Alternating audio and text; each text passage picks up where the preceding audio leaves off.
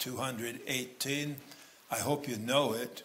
Hallelujah, tis done. Let's stand as we sing. Then we'll have you sit back down and we'll go about observing the Lord's Supper. 18.